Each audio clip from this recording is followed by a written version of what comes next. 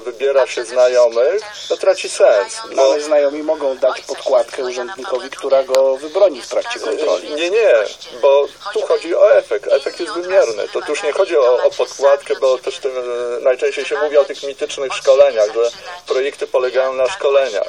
E, Szkolenia, jeśli są, to są elementem i to niewielkim projektów. Powiedzmy, licząc budżetowo, 20% budżetu projektu albo mniej dotyczy szkoleń.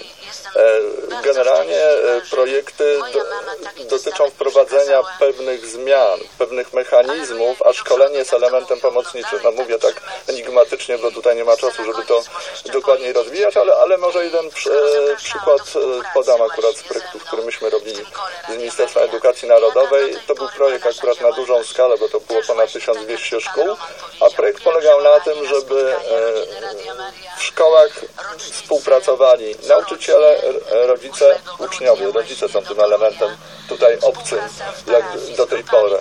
I naszym zadaniem było nauczyć przy pomocy warsztatów tego, żeby oni współ, współdziałali, ale nie tak abstrakcyjnie, tylko żeby e, rozpoczęli realizować pewne potrzebne im w poszczególnych szkołach e, rzeczy, rozwiązywać pewne problemy. No i tutaj ktoś I to, za, I to zadziałało po prostu w tych, i to się działo samo, czyli efektem... e, Czy, czy my jesteśmy w stanie to wymierzyć? Bo ktoś mógłby powiedzieć, już oddaję głos Piotrowi Trudnowskiemu, bo ktoś mógłby powiedzieć, no dobrze, ale po co tutaj jakieś szkolenie czy projekt? No przecież to są normalne mechanizmy współpracy, e, to są tak naprawdę zmarnowane pieniądze, po pierwsze. Mógłby też powiedzieć, no dobrze, ale jak my to mamy wymierzyć, czy po, takim, po takich warsztatach, po takim projekcie ta współpraca idzie lepiej lub gorzej? No przecież nie da się wymierzyć współpracy. Jak, jak to zmierzyć?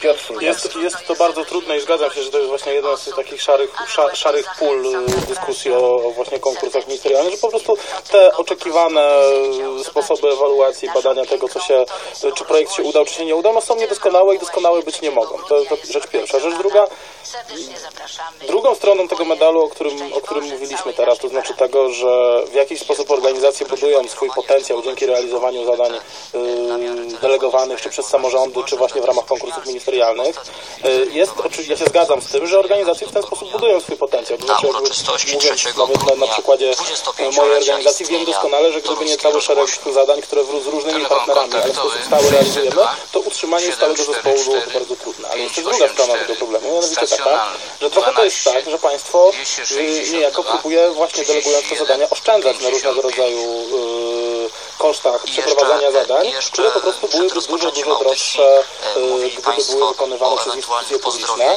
do czego się sprowadza w praktyce. No, dosłownie. sprowadza się w praktyce do tego, że tak naprawdę te projekty, jeśli chodzi na przykład o wynagrodzenia i zatrudnianie, bardzo często no, kompletnie nie jak się ma Mariana do realiów rynkowych i w ogóle do rea- realiów administracji publicznej. Tak? To znaczy, członków są, są tańsze, ale tańsze w takim wymiarze, że są oparte o umowy śmieciowe, brak jakiejkolwiek i stabilności zatrudnienia i chcą tak dalej, i tak dalej, na co każda osoba tak naprawdę pracująca w organizacji i podać No to też prawda. Natomiast większość ludzi, którzy pracują w tym sektorze zdaje sobie z tego 3 sprawę, decydując się na pracę w takim Yy, sektorze. Co, 12, i tutaj w tym roku już nie pamiętam nazwy tego raportu, ale 8, ukazał się w tym roku bardzo ciekawy raport dotyczący właśnie 1, tego, jak się 8, pracuje w trzecim sektorze.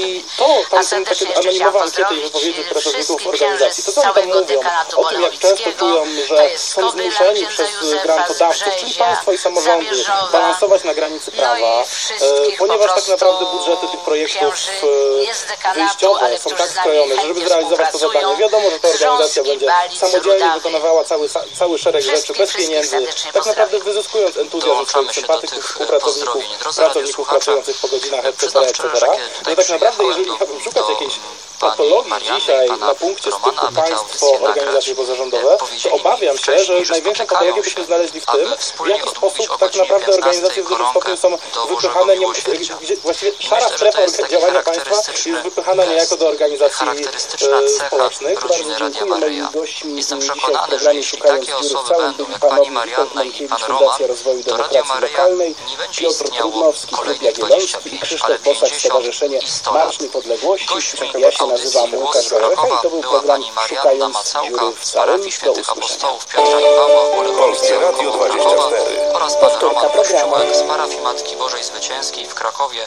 Borku Fałęckim. Przy mikrofonie był Kajetan Rajski. Do zobaczenia za tydzień o zwykłej porze. Szczęść Jest Boże. czwarta. Polskie Radio 24. Informacje dnia. Przed mikrofonem Robert Krawka. Do Trybunału Sprawiedliwości Unii Europejskiej decyzję Komisji Europejskiej w sprawie podatku handlowego. We wrześniu Bruksela zakwestionowała tę daninę i nakazała jej zawieszenie. domu. Tomasz Majka. Bruksela ogłaszając i decyzję trzy miesiące temu stwierdziła, że podatek Drodzy narusza unijne prawo o pomocy publicznej. Minister kancelarii premiera Beata Kempa powiedziała w TVP. Info, że stanowisko komisji, według której podatek jest niezgodny z prawem, jest nieuzasadniony. Są inne kraje, gdzie tego typu podatki obowiązują i jakoś tutaj nie ma ingerencji, szczególnie krajów innych z Unii Europejskiej, tę politykę fiskalną, podatkową, sprawiedliwą, powtarzam, politykę wobec wszystkich podmiotów, które funkcjonują. Warto, żeby powalczyć przed Trybunałem. To jest naprawdę sprawiedliwość. MSZ dodaje, że Komisja Europejska podjęła decyzję bezprecedensową, dlatego Polska się odwołuje. Joanna Wajda, rzecznik prasowy resortu w rozmowie z Polskim Radiem tłumaczy, że całość uzasadnienia została zaskarżona. Nasze zarzuty dotyczą błędnej kwalifikacji podatku od sprzedaży detalicznej jako pomocy państwa, bo progresywny podatek nie może być traktowany jako pomoc publiczna. Rząd po decyzji komisji zawiesił podatek na jeden rok. Teraz Komisja Europejska ma dwa miesiące na odniesienie się do zaskarżenia. Tomasz Majka, Polskie Radio. Prezydent Gdańska Paweł Adamowicz zasiądzie na łowie oskarżanych. Sąd Okręgowy w Gdańsku w rozprawie apelacyjnej orzekł, że sąd rejonowy popełnił błędy podczas procesu. W marcu warunkowo umorzył postępowanie na okres dwóch lat. Joanna Stankiewicz. Sąd uznał, że stopień społecznej szkodliwości czynu prezydenta był duży i że nie można tej sprawy umorzyć, mówi sędzia Małgorzata Westfal-Kowalska. Sąd rejonowy co prawda podjął się oceny stopnia zawinienia podejrzanego, jak i stopnia społecznej szkodliwości czynów zarzucanych jednakże uczynił to w sposób niepełny. Od wyroku umarzającego sprawę Pawła Adamowicza odwołała się prokuratura, mówi Mariusz Marciniak z Pomorskiego Wydziału Prokuratury Krajowej. Najważniejsze dla prokuratury jest to, że zostało uwzględnione, że stopień społecznego niebezpieczeństwa tych zarzucanych przestępstw był na tyle znaczny, że sprawy tej nie można warunkowo umorzyć. Że należy przeprowadzić pełną, jawną, publiczną rozprawę i to pozwoli dopiero na wydanie wyroku w tej sprawie. Rzecznik prezydenta Gdańska Antoni Pawlak mówi, że sprawa została upolityczniona. Tutaj ewidentny jest to sukces prokuratury, który zapowiada, że przez następne miesiące, być może lata, będziemy mieli spektakl pod tytułem grillowanie Adamowicza. Prezydent Gdańska nie będzie sprawy komentował do czasu zakończenia procesu. Joanna Stankiewicz, Radio Gdańsk. Sprawa dotyczy oświadczeń majątkowych Pawła Adamowicza z lat 2010-2011. Prezydent Gdańska nie wpisał w nich wszystkich posiadanych mieszkań i oszczędności. Jest porozumienie Komisji Europejskiej z Niemcami w sprawie opłat za korzystanie z autostrad przez kierowców samochodów osobowych. Władze w Berlinie zobowiązały się do wprowadzenia takich zmian, by przepisy nie dyskryminowały obcokrajowców. Beata Płonecka. Po deklaracjach niemieckich władz Komisja Europejska wstrzymała procedurę sądową i po kilkuletnich negocjacjach spór na linii Bruksela-Berlin został zażegnany. Niemieckie autostrady będą dostępne dla wszystkich obywateli Unii, a system poboru opłat będzie zgodny z europejskim prawem, napisała w oświadczeniu komisarz do spraw transportu Violetta Bulc. Komisja rozpoczęła postępowanie przeciwko Niemcom o naruszenie unijnego prawa we wrześniu. Tłumaczyła, że w samym poborze opłat za autostrady nie ma niczego złego, ale muszą one być jednakowe dla wszystkich. Tymczasem te niemieckie, jak uznała Bruksela, dyskryminowały obcokrajowców. Przewidywały bowiem rekompensatę w formie zwrotu z podatku za myto, a taką możliwość mieliby tylko Niemcy. Po wprowadzonych zmianach wkład w finansowanie infrastruktury spadnie jednakowo na wszystkich kierowców, zarówno tych niemieckich, jak i na obcokrajowców. Beata Płonecka, Polskie Radio, Bruksela. Władimir Putin zapewniał, że Rosja nigdy nie szukała wrogów. Nam są potrzebni przyjaciele, oświadczył rosyjski prezydent. Gospodarz Kremla wygłosił orędzie do Zgromadzenia Federalnego, w którym oprócz kwestii budżetowych poruszył również tematy związane z polityką międzynarodową. Z Moskwy Maciej Jastrzębski. Mówiąc o przyjaznym nastawieniu Rosji do partnerów zagranicznych, Władimir Putin ostrzegł, że Moskwa nigdy nie dopuści do uszczuplenia swoich interesów. My chcemy i będziemy samodzielnie decydować o swoim losie, budować teraźniejszość i przyszłość bez czyichś odpowiedzi i nieproszonych dobrych rad. Putin zapewnił, że Moskwa jest nastawiona na poważne rozmowy o budowie stabilnego systemu stosunków międzynarodowych i globalnego bezpieczeństwa. Zapowiedział przy tym, że Rosja nie godzi się na czyjąkolwiek dominację i monopol w jakichkolwiek dziedzinach życia. Władimir Putin podkreślił, że jest zainteresowany w odbudowie kontaktów ze Stanami Zjednoczonymi, dodając, że oba kraje powinny podjąć wspólne wysiłki na rzecz zwalczania terroryzmu. Moskwa Maciej Jastrzębski, Polskie Radio. Wracamy do kraju. Dzień zachmurzenie duże z większymi przejaśnieniami. Miejscami przelotne opady śniegu, stopniowo zanikające od północnego zachodu. Temperatura od zera na Suwalszczyźnie i w rejonach podgórskich Karpat przez około plus 2 w centrum do plus 6 na zachodnim wybrzeżu. Wiatr umiarkowany, na południu i górach porywiste. Polskie Radio 24. Słowem wszystko. 5 minut po czwartej Marek Cynkar zainteresował się likwidacją papierosów i alkoholu pochodzących z przemytu. Udało mu się pozyskać zgodę na wejście do magazynów Przemyskiej Izby Celnej. tytoniu. Można zaciągać się zapachem. Pożar nam nie grozi. Edyta Chabowska, rzecznik prasowy Izby Celnej. Faktycznie śmierdzi tytoniem, ponieważ znajdujemy się w magazynie, w którym przechowywane są przechwycone podczas kontroli celnej papierosy. Pożar nam nie grozi, ponieważ wszystkie nasze magazyny prowadzone są zgodnie z zasadami BHP. Papierosy znajdują się w workach. Ile tego jest? W tym magazynie można powiedzieć, że jest ich niewiele, ponieważ około 80 tysięcy paczek. Natomiast we wszystkich naszych magazynach w tym momencie mamy około 3 miliona paczek papierosów. A ile macie tych magazynów? Szczegółów na ten temat nie mogę Państwu przekazać. Magazyn ze spirytusem znajduje się nieco dalej. Dokładnie tak, aby zostały zachowane zasady dotyczące bezpieczeństwa przechowywania tych towarów. Może przejdźmy do tego magazynu. Jest alkohol przejęty na granicy. Janusz Urban, funkcjonariuz celny. Jest alkohol, który często rzucony przypadek na Skarbu Państwa. Są to m.in. koniaki, wódki czyste, łyskacze i nalewki różnego rodzaju. Czy celnicy zapadają na choroby alkoholowe? Związane z prowadzeniem takiego magazynu No jasne. mamy karty oceny ryzyka zawodowego również dotyczące stanowiska prowadzenia magazynu i wśród zagrożeń, no nie ma niestety takiej kategorii. Jakie są zagrożenia na tej liście? Lista jest dosyć duża. Wszystkie ryzyka mają odpowiednią kategorię. Może być między innymi skaleczenie, może być uderzenie, przygniecenie, może być upadek z wysokości, przeciążenie układu ruchu mięśniowo-szkieletowego, ponieważ pewne czynności związane czy z przenoszeniem, czy z dostarczaniem towarów do magazynu, wynoszeniem, one są tutaj bardzo różnorodne. Magazyny pękają w szwach. Nikotyna jest rakotwórcza. Można ją spalić. Wódkę wylewa się do kanału. Stefan Ożga, naczelnik likwidacji towarów w Izbie Celnej w Przemyśle. Wódki oczywiście nie wylewać do kanału. Są na tę określone odpowiednie procedury. Taką procedurą jest niszczenie w firmach specjalistycznych. Jak wódka jest niszczona? Jedną z metod niszczenia wyrobów alkoholowych, tych, których obrót jest zabroniony, jest ich wylewanie albo degradacja w biostabilizatorach odpowiednich i z takiej metody likwidacji tutejsza izba korzysta. Papierosy, tak jak powiedziałem, są spalane. Tak spalane, nie oczywiście przez naszych funkcjonariuszy celnych, które są również stosowane odpowiednie procedury przeniszczenia. Taka ilość przygotowana przez komisję powołaną przez dyrektora Izby Celnej, ta komisja kwalifikuje te papierosy, ta komisja uczestniczy przy przeliczeniu i przy przekazaniu do przedsiębiorstw właściwych do tego typu niszczenia tychże wyrobów. Finalnym sposobem niszczenia jest ich spalanie procesach technologicznych przy obróbce na przykład wyrobów cementowych. Towarów w magazynach przybywa. Jak często jest niszczony?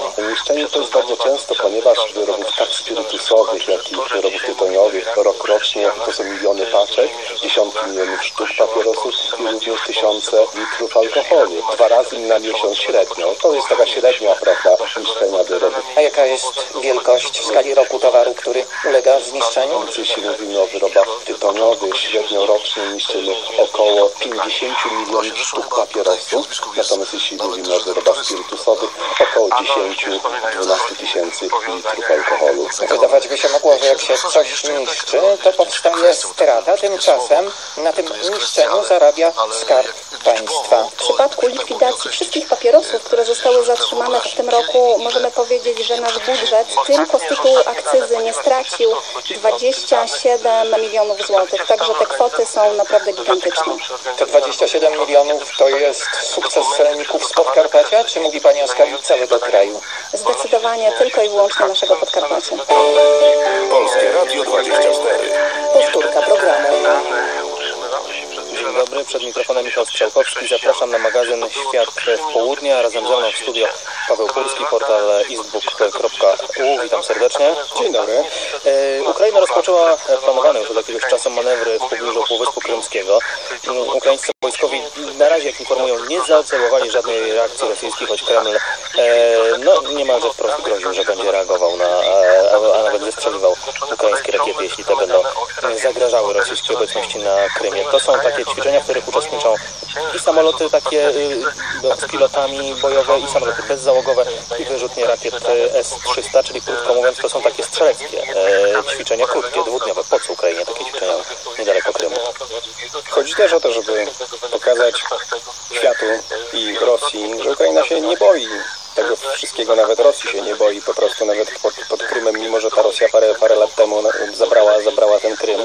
I to trochę pokrzepienia serc, trochę faktycznie, żeby poćwiczyć, trochę, żeby poprowokować, niejako tak jak to zawsze mówię, pojeździć kijem po szczebelkach. Sprawdzić, jak Rosjanie zareagują. Sprawdzić, jak Rosjanie na pewno zareagują, to też jest bardzo ważne. Rosjanie zareagowali standardowo, bo właściwie moglibyśmy się zdziwić, jakby Rosjanie nie zareagowali w taki sposób jak, jak teraz, czyli nie wysłali oświadczenia ze strony Ministerstwa Obrony Narodowej, że będą oczywiście bardzo mocno odpowiadać.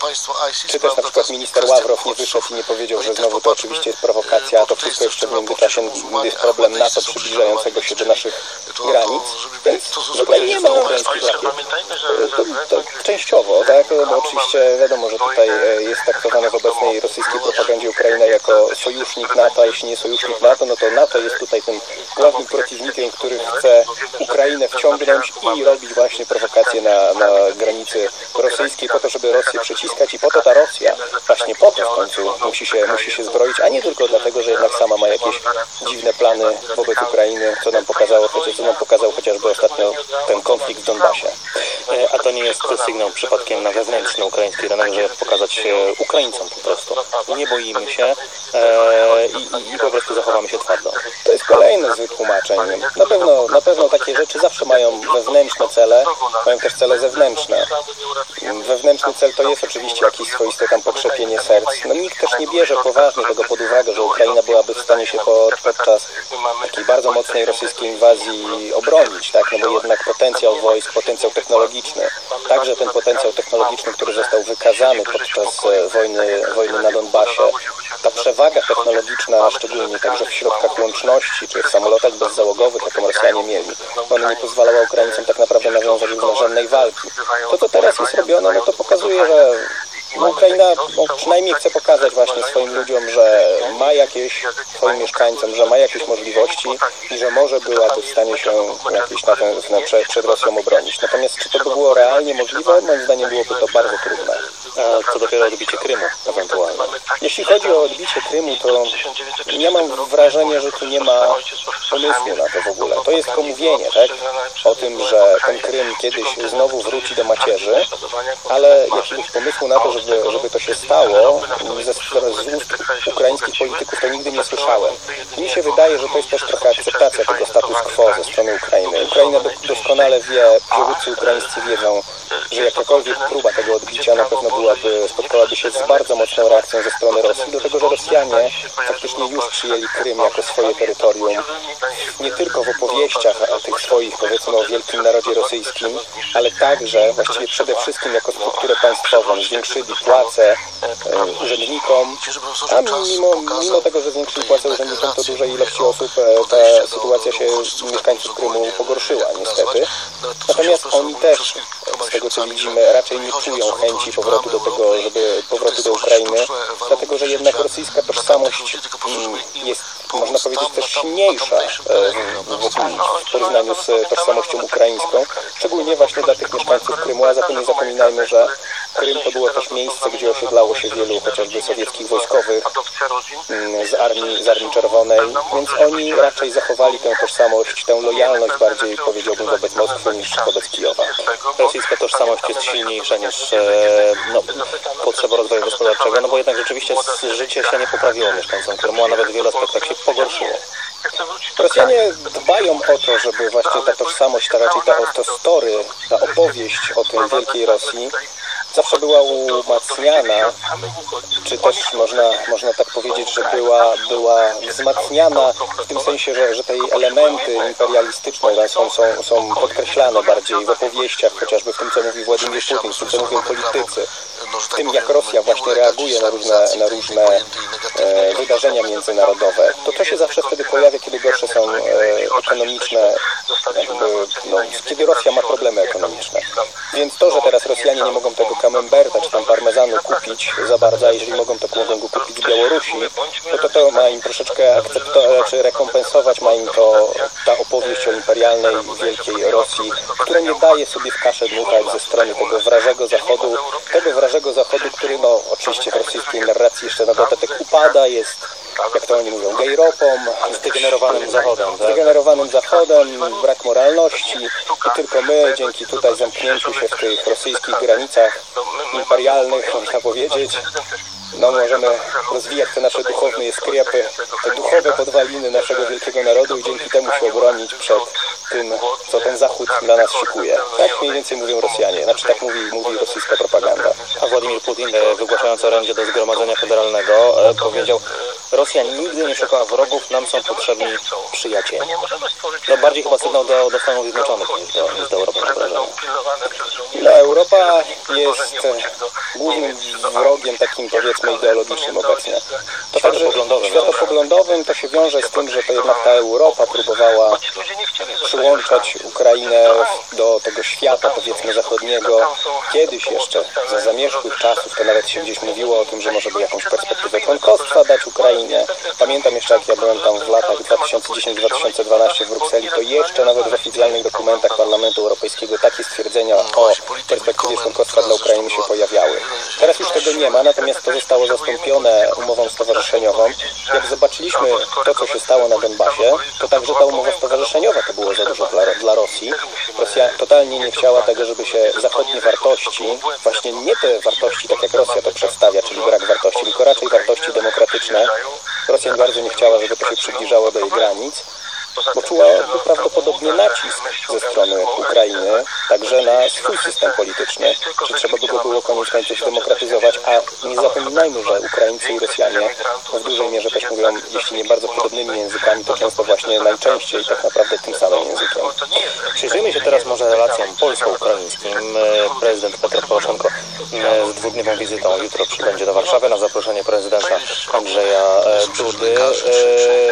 Te relacje polsko-ukraińskie ostatnio e, no, zaczynają się robić coraz bardziej interesujące, bo z jednej strony, e, co też Ukraińcy podkreślają, Polska wspierała e, ukraiński Euromajdan, wspierała te przemiany, nadal wspiera, z drugiej strony e, coraz bardziej robi się taka e, no, gorąca dyskusja na temat historii. Parlamenty i w Kijowie, i w Warszawie e, przyjmują uchwały. E, jakby Wyglądam te relacje dwoma torami, niezależnymi od siebie, w jakimś sensie, a może właśnie zależnymi od siebie, tylko, tylko e, pozornie oddzielonymi.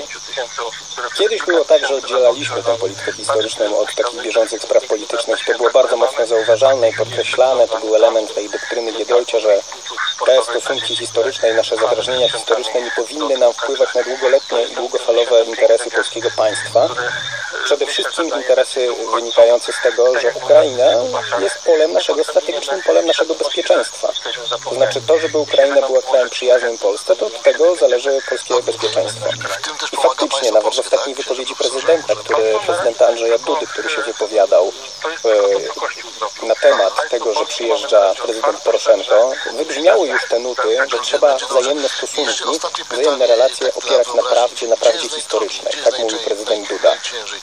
Uważam, że tak. Znaczy fundamentalnie nie sposób się z prezydentem Dudą nie zgodzić. Natomiast ja bym cały czas uważał i cały czas się zastanawiał, czy w obecnych tych relacjach, nawet nie tylko jeśli chodzi o tę Rosję, tylko nawet po prostu o to, w jakim położeniu jest teraz Polska, w ogóle zawsze była w jakim położeniu, tak? Takim powiedzmy strategicznym pomiędzy, jak to zawsze się mówi, między Niemcami a Rosją, ale także to, że jesteśmy de facto na peryferiach Unii Europejskiej, też organizmu, który ma obecnie teraz problemy, to czy my powinniśmy starać się iść w kierunku osamotnienia, takiego strategicznego osamotnienia i bazować na właśnie historii jako głównym, głównej e, w ogóle osi stosunków pomiędzy Polską a Ukrainą. Ja się z tym nie za bardzo zgadzam. I podoba mi się to, co powiedział też e, wiceszef administracji prezydenta Poroszenki, pan Konstanty Jelisiejew. On powiedział coś takiego, że e, są pewne prowokacje, są też pewne problemy pomiędzy Polską a Ukrainą. tak? także historyczne problemy. Natomiast one są często właśnie podchwytywane przez polityków, przez bardzo nieodpowiedzialnych polityków, którzy na tej podstawie chcą sobie robić właśnie taką, tak naprawdę dużo PR. I on nie powiedział tego tylko o Polakach oczywiście, on powiedział to zarówno o tych politykach ze strony polskiej, jak i ze strony ukraińskiej. I właśnie to, właśnie ta nieodpowiedzialność klasy politycznej i to, że to, to powoduje, że, że oni biorą na sztandary często właśnie politykę historyczną, tymi sztandarami z polityką historyczną wymachują, bo potrzebują dla siebie publicity, a wiedzą, że historia i narracje historyczne bardzo ludzi mobilizują. E, możliwy jest powrót do takich relacji między nie tylko Polską a Ukrainą, ale choćby prezydentami, jak wtedy, kiedy prezydentem Polski był Lech Kaczyński, e, e, prezydentem Ukrainy Wiktor Juszczenko wspólnie odsłaniali pomniki w e, Pawłokomie czy w Hucie Pieniackiej, kiedy dobrze pamiętam nazwę, były uroczystości. Rzeczywiście wydawało się wtedy, że możemy o tej historii rozmawiać rzeczywiście w sposób no taki przypominający historię, ale spokojnie. Rozmawialiśmy spokojnie, to było planowe. To były, to były uroczystości, które były uzgadniane pomiędzy administracjami obu prezydentów. To też było robione w sposób taki delikatny, więc to był, można powiedzieć, przemyślany proces pojednania. Miałem wrażenie, że obie strony wtedy mocno skupiały się na wrażliwości tej drugiej strony. Tak, tak, ja się zg- zgodzę. To na pewno tak było, choć na koniec to, co zrobił faktycznie prezydent Juszczenko, no już raczej było znowu tym powrotem do tego, o czym mówiliśmy wcześniej, czyli tej nieodpowiedzialnej polityki. A chodzi o to, że prezydent Juszczenko przyznał, że uznał Banderę za bohatera narodowego Ukrainy, co było zdecydowanie ruchem, no mocno, że tak powiem, e, przeciwko temu procesowi pojednania, który także prowadził Lech Kaczyński. Koniec prezydentury Wiktora Juszczenki, jednak jego ostatnich decyzji, jeśli dobrze To był taki rzut na taśmę, żeby może jeszcze zyskać zanim Wiktor e, Janukowycz. e, Nawet nie zdążyć. Raczej chodziło też o to, żeby, mm, żeby może zdobyć jeszcze kilka głosów w wyborach prezydenckich, które nie zapominajmy, że Wiktor Juszczenko z Kretesem przegrał. No to sondaże były wtedy bardzo złe dla niego. Tak. No więc czy to jest możliwy powrót do takich stosunków? Tak, jest możliwy powrót do takich stosunków. Mm, Tylko, że trzeba by było pewnej, powiedzmy, odpowiedzialności, może nawet nie ze strony prezydenta Poroszenki, ale właśnie ze strony prezydenta Andrzeja Dudy. Bo zawsze w polskiej polityce wschodniej, polityka wschodnia Polska miała twarz.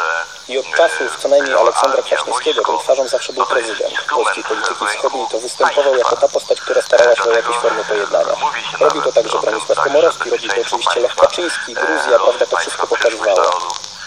Natomiast prezydent Andrzej Duda na razie wydaje mi się redukować pozycję prezydenta do takiej dość mocno reprezentacyjnej formy, pojawiając się na różnych uroczystościach państwowych czy na uroczystościach religijnych na przykład. Natomiast nie biorąc zbytnio odpowiedzialności za bardzo drażliwe kwestie z naszej polityki zagranicznej, choćby właśnie proces pojednania polsko-ukraińskiego. Więc polska polityka straciła twarz i niestety Niestety na razie nie widać nikogo, kto mógłby tutaj zastąpić jakby nawet prezydenta. Więc mam nadzieję, że w pewnym momencie otoczenie Andrzeja Duda, być może sam Andrzej Duda, zrozumie to, że mógłby budować swoją pozycję polityczną, także zajmując się przede wszystkim polityką zagraniczną, a szczególnie właśnie polityką wschodnią, bo polityka wschodnia to tak jak mówiłem, jest sfera naszego bezpieczeństwa narodowego, a prerogatywy prezydenta także dotyczą tego kwestii bezpieczeństwa, więc to się doskonale łączy. A prezydent Petro Poroszenko, no, e, Wiktor Juszczenko był bardzo zainteresowany historią, Wiktor Janukowycz z kolei, no razie e, tą historią, która nas najbardziej interesuje, niespecjalnie, a Petro Poroszenko. Petro Poroszenko wydaje mi się taką tą historią zbytnio nie zainteresowany. Ja w ogóle czuję, że wśród klasy politycznej, tej takiej powiedzmy jeszcze wywodzącej się z czasów sowieckich e, na Ukrainie, to te kwestie historii nie są zbyt ważne dla nich. To po prostu najważniejsza jest jakby pragmatyka jakiegoś działania, tak? Kwestie historyczne są bardzo rzadko poruszane na poziomie takim centralnym, powiedziałbym, na Ukrainie, natomiast jakby są postacie, chociażby, nie wiem, szef ukraińskiego IPN-u Wiatrowicz, czy też paru populistycznych polityków, Jaszko, tam paru jeszcze tego typu ludzi, którzy właśnie tak na bieżąco chcą po prostu tworzyć te narracje historyczne, a jak nie, to po prostu, nie wiem, no, mobilizować tymi ludźmi, bo one mają tą moc mobilizującą w bardzo dużym stopniu. Więc jeśli chodzi o, o, o to, jak prezydent Poroszenko powiedzmy też się odnosi do Polski, tak? No to widzieliśmy, że prezydent Poroszenko próbował wciągać na przykład prezydenta Andrzeja Dudę w pewne w lepsze stosunki pomiędzy Polską a Ukrainą, bo w lecie też była taka słynna wizyta e, w związku z rocznicą 25-lecia mm, Ukrainy niepodległości, tej deklaracji niepodległości, tak? No więc e, tam wtedy pojechał tylko tak naprawdę prezydent Andrzej Duda, inni nie pojechali. To była świetna okazja do tego, żeby faktycznie pokazać, że Polska mm, ma, jakiś, ma jakieś duże znaczenie i dalej dba o to, o, o, o Ukrainę. Moim zdaniem to też był ruch ze strony prezydenta e, Poroszenki taki, żeby tą Polskę mocniej wciągać. Więc to zainteresowanie jest na Ukrainie, zainteresowanie Polską nie zniknie, no bo jesteśmy pierwszym tak naprawdę krajem Unii Europejskiej, z którym Ukraina graniczy. A poza historią, co jest teraz najważniejsze w relacjach e, polsko-ukraińskich? Wydaje mi się, że wymiana handlowa zawsze to było coś, co kulało.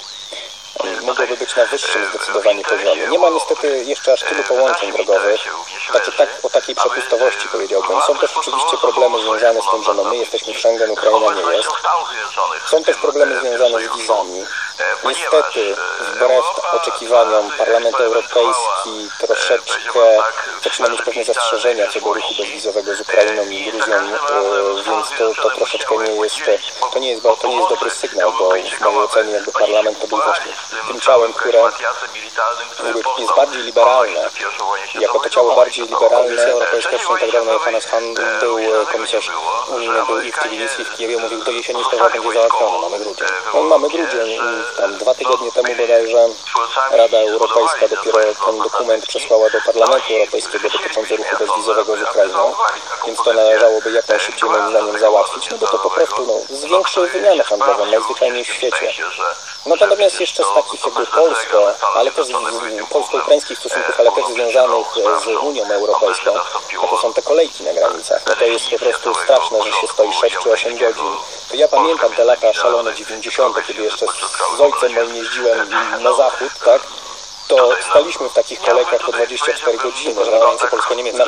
Na, na granicy polsko-niemieckiej. Wtedy było przemożne poczucie takiego po prostu poniżania ze strony tych wszystkich urzędników. I takie samo poniżanie jest teraz ze strony urzędników, jeśli chodzi o Ukraińców. Więc moim zdaniem to należałoby zmienić. To jest kolejna rzecz. No i nie zapomnijmy o bardzo ważnej sprawie, czyli tym, że jak Ukraińcy już przyjeżdżają do Polski, no to, że w zależności powiedzmy od województwa, ale ja znam dość dobrze kwestię te w województwie mazowieckim, no to kwestia tam rejestracji tutaj na kartę stałego pobytu, czy też na, na, na, na pobyt w ogóle, to są dziesiątki wystanych godzin, to, są, to jest papierologia, to jest biurokracja. Tak to nie może być, jeśli chcemy być skutecznym państwem ze skuteczną tą, powiedzmy, soft power, tak powiedzmy. Soft power buduje się właśnie także przyjaznością państwa wobec e, przedstawicieli sąsiedniego kraju? Też. Buduje się w taki sposób, że po prostu pokazuje się jako funkcjonujące dobre państwo, jako fajny model, na którym się można wzorować. Natomiast jeśli Ukraińcy przyjeżdżają na do Polski i stoją tutaj w kolejce na Marszałkowskiej do urzędu tam do spraw cudzoziemców, i stoją kilkanaście godzin, czy muszą sobie brać numerki albo przychodzić o godzinie 5.30, no to oni nie widzą, że to państwo polskie skutecznie działa. Kiedy pojadą do Niemiec, to zobaczą, że te, te wszystkie formalności można zdecydowanie szybciej zrobić.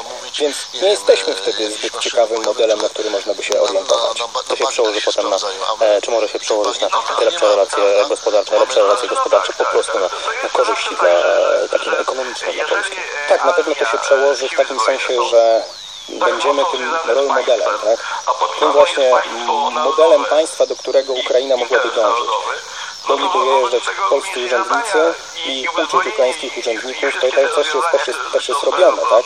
Ale mogłoby to być jeszcze w większym stopniu i też mogliby ci polscy urzędnicy bazować faktycznie na dobrych standardach wypracowanych w Polsce. I obserwowałem podobny projekt realizowany w Gruzji, gdzie urzędnicy akurat z Poznania wyjeżdżali do miasta Kutaisi i, i, i w ramach finansowanego przez NZ projektu prowadzili takie szkolenia i widziałem, jak to poprawiało w ogóle polską markę w ramach tego miasta, która 5-6 lat temu w ogóle nie istniała, a dzisiaj jest świetną marką. Tak, no nikt nie wiedział pewnie za bardzo, co to, co, co to jest Poznań gdzieś w Gruzji, tak, w środku, w środku miasta. Drugiego co do wielkości. Drugiego co do wielkości. Więc to zdecydowanie, to zdecydowanie pomaga tego typu wymiana. Można się orientować na siebie, można też tworzyć story Polski jako udanego modelu transformacji. To story jakiś czas temu było, jeszcze do niedawna.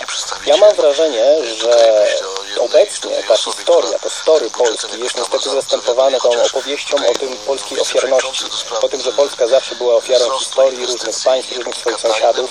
I niestety zauważam, że u nas też się zaczyna mówić o tym syndromie oblężonej twierdzy, czy to ze strony Unii Europejskiej, czy to ze strony właśnie sąsiadów. Uważam, że to jest bardzo złe, bo my powinniśmy mieć jak najbardziej, tak powiem, rozszerzającą historię, takiego story, opowieść o naszej współczesnej Polsce, właśnie chociażby, jak już byśmy chcieli, to sięgać do czasów I Rzeczpospolitej i podkreślać te elementy, które powodowały, że ta Polska była wielokulturowym państwem.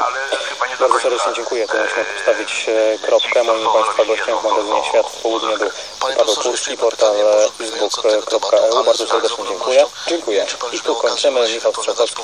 Dziękuję za uwagę i mówię Państwu do usłyszenia. Informacje dnia w skrócie. Przed mikrofonem Robert Kawka. Urna z plotami Fidela Castro przemierza Kubę. Pokonuje drogę, jaką w styczniu 1959 roku przejechała dowodzona przez Castro karawana wolności. Jej wjazd do Hawany był końcem kubańskiej rewolucji. Triumfalny powrót, tak nazywają przejazd urny z plotami kubańskie media. Wtedy Fidel Castro jechał z Santiago de Cuba do oddalonej prawie 800 km Hawany. Teraz, uwieziona na lawecie urna, przemierza odwrotną drogę. Pierwszym głównym przystankiem jest Santa Clara. Na noc prochy Castro umieszczono w tamtejszym mauzoleum Ernesta Che Guevary, przyjaciela i współpracownika zmarłego dyktatora. Na okolicznym placu odbył się cało, całonocny koncert, który przerywały popularne okrzyki z czasów rewolucji. Niech żyje Fidel! Ojczyzna albo śmierć! Zwyciężymy!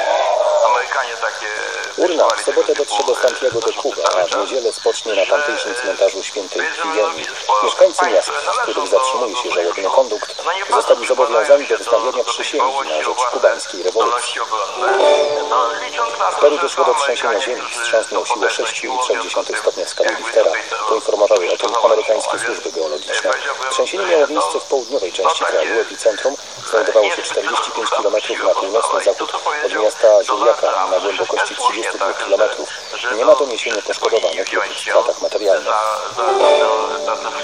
Dziś i jutro nie wypłynie żaden prom z greckich portów. Panheleńska Federacja Marynarzy ogłosiła kolejny 48-godzinny strajk w proteście przeciwko zmianom w systemie podatkowym w tym sektorze. Greków i turystów chcących przedostać się na greckie wyspy czekają w tych dniach duże problemy komunikacyjne. Od 5 rano dziś do 6 rano w niedzielę mają pozostać przecumowane na przystaniach w całym kraju wszelkiego rodzaju statki i plany. Związki zawodowe greckich marynarzy, które sprzeciwiają się podniesieniu opłat podatkowych w tym sektorze, oświadczyły w wydanym komunikacie, że jest to niesprawiedliwe i doprowadzi do zniszczenia greckiej żeglugi morskiej. Statek kosmiczny Cassini powoli kończy swoją misję w rejonie Saturna. Obecnie inżynierowie NASA przygotowują ją do ostatnich manewrów i dramatycznego końca. Na pomoc Sonda Cassini została wystrzelona z Ziemi w październiku 1997 roku. Siedem lat później pokładu lądownik Huygens, który wylądował na Księżycu Saturna w Tytanie. Przez ostatnie 12 lat sonda Cassini okrążała planetę i jej różne księżyce. Odkryła wodne fontanny na Enceladusie i rzeki i jeziora metanu na Tytanie. Teraz ma zbadać jeszcze z bliska słynne pierścienie Saturna. W połowie września przyszłego roku Cassini wejdzie w atmosferę planety, dokona ostatnich pomiarów, rozgrzeje się w wyniku tarcia i spłonie. Rafał Montry. Polskie Radio. Polskie Radio 24. Słowem wszystko. Jest 4.33.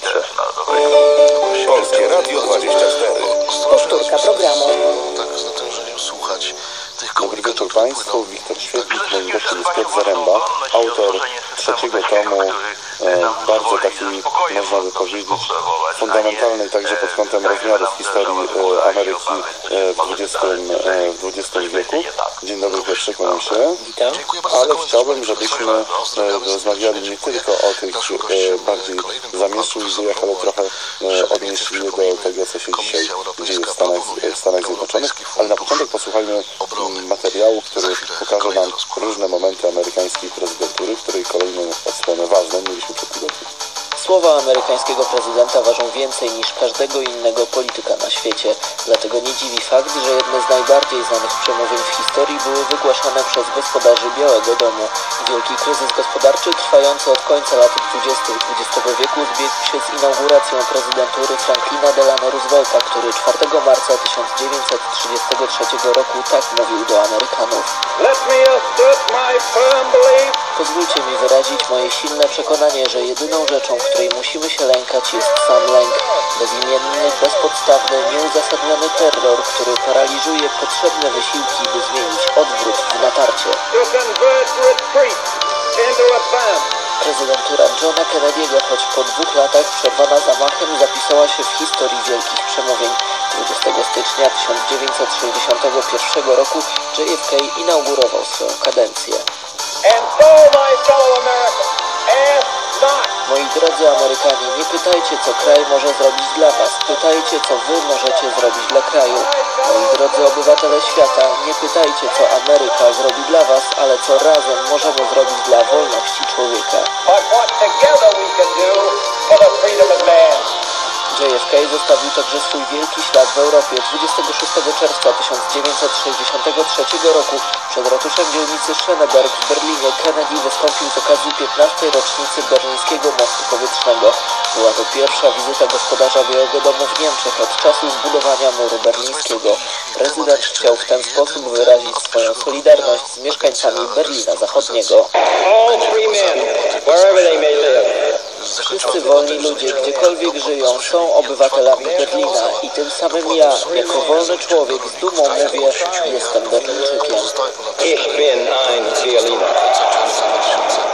A to już 8 sierpnia 1974 roku i pierwsze w historii Stanów Zjednoczonych ustąpienie prezydenta przed końcem kadencji. Przyczyniła się do tego afera Watergate, która ujawniła nielegalne działania administracji prezydenta Richarda Nixona przeciwko jego przeciwnikom politycznym. W ostatnich kilku dniach jasno dotarło do mnie, że nie cieszę się już wystarczająco silnym poparciem w kongresie, aby usprawiedliwić kontynuowanie mojego wysiłku. Zatem rezygnuję z prezydentury ze skutkiem od jutra od godziny 12. O tej porze w tym gabinecie zaprzysiężony na prezydenta zostanie wiceprezydent Ford. Vice President Ford will be sworn in as president at that hour in this office. No właśnie, to były różne momenty amerykańskiej prezydentury, bardzo istotne także dla historii Stanów Zjednoczonych. Obecna prezydentura, która no, jeszcze faktycznie się nie zaczęła, a została zatwierdzona przez Amerykanów, znaczy zadecydowano o niej e, przed, tygo, e, przed e, tygodni temu, ta prezydentura przedstawiana jest zarówno przez jej zapiekłych przeciwników, jak i zapiekłych, zwolenników, jako prezydentura, która będzie mogła stanowić pewnego rodzaju przełom, wyjątkowo, wyjątkowa inna niż wcześniejsze prezydentury amerykańskie. Czy często takie głosy w przypadku prezydentur amerykańskich się e, pojawiają? Czy to będzie koniec świata albo nowa nadzieja dla Ameryki? No, zacznijmy od tego, że ja nie bardzo wiem, na czym ten przełom miałby się, miałby polegać z punktu widzenia na przykład z zakresu władzy prezydenckiej. Pojawia się czasami taka teza, że Donald Trump będzie prezydentem autorytarnym to y, na, powtarzając zarówno media amerykańskie, jak i za nimi media choćby polskie, te, które obawiały się tej prezydentury. No nie ma narzędzi konstytucyjnych do zmiany ustroju amerykańskiego, to jest niesłychanie trudne i nic, nic na przykład tego, co się zaczęło, czy tego procesu przejmowania władzy, no w ogóle na to nie wskazuje. To znaczy jest to klasyczny model e, e, prezydentury z e, kadry, to są kadry jednak partii republikańskiej, czyli jednej z dwóch e, mainstreamowych partii e, e, USA. Nigdzie Trump nie zapowiedział żadnych e, właściwie, no powiedziałbym, no, no, no, nowych metod sprawowania władzy, prawda? Znaczy, on ma trochę inne w pewnych sprawach poglądy niż e, e, oba establishmenty, bo Ameryka nie ma jednego establishmentu, tylko e, o, dwa establishmenty, co najmniej dwa establishmenty, e, republikański i demokratyczny, no ale to jest trochę co innego. Natomiast no tak, e, takich przełomów parę było, oczywiście, bo tutaj słyszeliśmy wystąpienie Franklina Delano Roosevelta, pierwsze, e, z tym, słyn- tą słynną formułą, że tego trzeba, to, czego trzeba się bać, to jest sam lęk. E, I na przykład jego prezydentura e, to był, dochodziła do Znaczy, obejmował władzę w momencie, gdzie wydawało się, że się ustrój amerykański jest zagrożony. Gdzie rzeczywiście wydawało się, że alternatywą dla takiej normalnej y, amerykańskiej y, władzy jest y, no, jakaś, rodzaj rewolucji, czy jakiś rodzaj zapaści. Y, I w tym sensie on na przykład y, uzyskał od kongresu bardzo, bardzo wiele istotnych nowych uprawnień, przejść, czasem przejściowych, czasem trwałych, y, których nie mieli poprzedni prezydenci. Więc była to prezydentura rzeczywiście y, bardzo przełomowa. E, jeśli e, pojawia się czasem to pojęcie imperialnej prezydentury, to jednym z jej twórców jest Franklin Delano Roosevelt.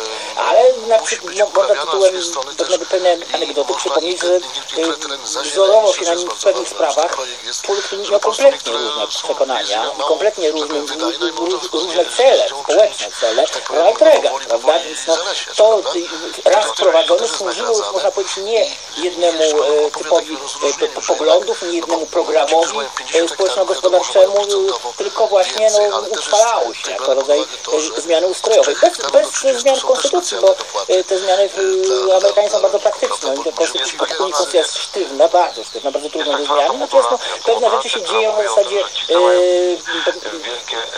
konsensusu prawda, społecznego. Jeżeli coś zostaje uznane, no to e, dokonuje się bez e, formalnych zmian ustrojowych. Prezydentura Donalda Trumpa jest przedstawiana jako przełomowa czy wyjątkowa na tle tych poprzednich, również z innej przyczyny, takiej, że jest to kandydat pochodzący, no nie dość, że spoza establishmentu partyjnego, właściwie spoza w ogóle obszaru, można powiedzieć, partii republikańskiej wcześniej, niegdyś związany z demokratami, dziś już, no, później nie związany z republikanami, ale co więcej, wygrywający wbrew na dobrą sprawę partii republikańskiej, a przynajmniej bardzo dużej części elit tej, elit tej partii. Tak, prezydentura Baracka Obamy była przedstawiana jako wyjątkowa no, ze względu na to, że kandydat był czarnoskóry. Johna Kennedy'ego ze względu na to, że był katolikiem. To były te pierwsze, pierwsze razy amerykańskiej demokracji. Czy ten pierwszy raz jest jakiś, jakiś inny niż wszystkie jakie były najciekawsze te, takie no, noce poślubne amerykańskiej demokracji z tymi prezydentami? Tak, no to jest, to jest oczywiście nowość. Są także nowość w tym sensie, że no, taki schemat, prawda, dotyczący Ameryki wskazywałby na to, że bogacz, który zostaje prezydentem, tak wielki milioner, biznesmen, kapitalista, który zostaje prezydentem, to powinna być reguła. To nie była reguła. No, prezydenci amerykańscy byli często byli zamożnymi, czy bogatymi, ale no nie byli tymi, tymi naj, największymi potentatami. To się nie zdarzało. William Randolph Hearst, ten magnat prasowy, próbował uzyskać nominację Partii Demokratycznej na początku XX wieku, ale nie udało mu się to.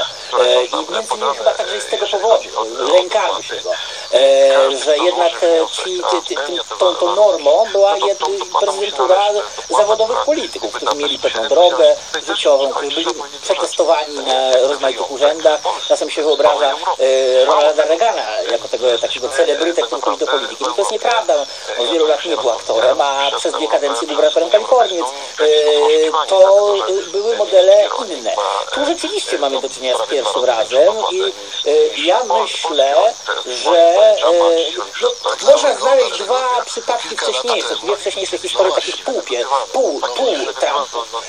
W 1940 roku Wendell Willkie uzyskał nominację partii republikańskiej też na prezydenta jako konkurent Franklina Delano Roosevelta, który wtedy startował po raz trzeci i on był takim człowiekiem, który zdobył z zewnątrz nominacji. Nie był, był, był demokratą, też tak jak Trump, adwokatem, wielki, adwokatem korporacji, ale właśnie nie, nie zawodowym politykiem. Nazywano go najczarniejszym czarnym koniem. E, I tak nawet, nawet tytuł książki o nim da, e, e, tak brzmi. E, to była rzeczywiście formuła zdobycia władzy od dołu, bo on tworzył takie kluby, poparcia, aczkolwiek jakaś część establishmentu republikańskiego niego postawiła. No kłopot z tym, że, że Wilkie przegrał wybory z e, Rooseveltem w ciągu roku wypluła partia republikańska. On po prostu bardzo szybko z tą partią się rozstał. No a drugi przykład troszkę inny, to jest przykład generała Dwighta Eisenhowera, bo on jakby przychodził do, do, do, do, do, do władzy bez, no, bez też jakiegokolwiek względu politycznego, nie znano wręcz jego poglądów. On, jako bohater wojenny. Jako bohater wojenny, którego obie partie namawiały, żeby wystartował z ich, z ich niejako listy, prawda? Więc to, to, to też jest trochę podobny przypadek, ale ale tam jednak z kolei pewne skrzydło, bardzo silne i ważne skrzydło Partii Republikańskiej od razu niego postawiło. Tam był wielki wtedy spór między izolacjonistami, no, zwolennikami zaangażowania w Europie. i on był właśnie kandydatem tych, lu- tych tak zwanych internacjonalistów Ci ludzi, którzy uważali, że należy e, podtrzymywać plan Marszala, należy wzmacniać NATO, no, trochę inaczej niż Trump właśnie. E, więc to są takie przypadki. E, natomiast e, takiej inwazji, to można powiedzieć wrogiego wręcz przejęcia, no nie było, bo, ta, bo tam jednak był większy element współdziałania e, tych kandydatów z politykami republikańskimi. E, zasadzie no, norma jest zupełnie inna. No, to jest właśnie norma senator, gubernator. E, to, to, to są te takie modele dochodzenia do, e, do władzy. Przy czym no, niektórzy mówią, że Obama był człowiekiem jednak o bardzo niewielkim stażu, bo on był co prawda senatorem e, z- ze stanu Illinois, ale krótkotrwałym, więc można by się skracały się te, te, no, te, te wymogi. To, e, a, a- Obama w większym stopniu zawdzięczał pewnie e, s- swoją nominację właśnie po, po kolorowi skóry i to, to, to stał się rodzajem pewnego eksperymentu, prawda? Także swoim e, talentom, takim powiedziałbym trochę celebryckim, bo przecież miał na przykład wielki dar, ma wielki dar oczywiście, e, może teraz mniej to użyteczne, wielki dar przemawiania, prawda? Więc, e, to, to, jest może te- ten klucz, taki klucz no, medialno-popkulturowy, ale tego typu historia z Trumpem e, no, do tej pory nie było. Czyli mamy do czynienia jednak z, pewnego rodzaju przełomem w amerykańskiej Tak, polityce. to ja myślę, że to jest następstwo wielu czynników oczywiście, na pewno popkulturyzacji, takiej tabloidyzacji polityki, ona po prostu preferuje kogoś takiego, e, a nie doświadczenie, sprawność w wypowiadaniu, przekazaniu swoich poglądów, e, to, to, to nie jest już ten model polityki takiej solidnej, e, ale myślę, że ogromną rolę tutaj odgrywają no, tak zwane prawybory. I to jest ciekawe zjawisko, bo prawybory były wprowadzone na początku XX wieku jako e, no, element demokratyzacji amerykańskiej polityki e, i one najpierw miały działać na dole. Na przykład w prawyborach wyłaniano kandydatów na e, kongresmenów, senatorów, także no, do urzędów lokalnych. I polegało to najpierw na, na tym, że najpierw ludzie zarejestrowani jako republikanie bądź demokraci wybierają kandydata, a potem już wszyscy wybierają samego na sam urząd. Ale w przypadku, ale potem to zaczęto przenosić na wybory prezydenckie. Niektóre stany wprowadzały tę zasadę, że delegaci na tę konwencję republikańską bądź demokratyczną też są wybierani w prawyborach. W związku z tym tak naprawdę głosuje się trochę na, na kandydata. Eee, to trwało bardzo powoli, bo ten model taki, że w zasadzie całe Stany są objęte tą siecią, też nie całe, bo tam parę, parę Stanach jest inaczej. Eee, to, są, to są dopiero lata 50. I prawybory były elementem tej demokratyzacji, niewątpliwie. Eee, jednocześnie bardzo